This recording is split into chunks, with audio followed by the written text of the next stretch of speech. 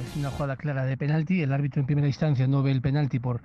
por la posición de los brazos que le impide ver, eh, le tapa el cuerpo, pero lógicamente a través del bar pues se, ve, se aprecia claramente de que hay un agarrón muy claro a la altura del pecho y lo que hace es derribarle y por lo tanto penalti con, bien decidido por, por el bar en este caso.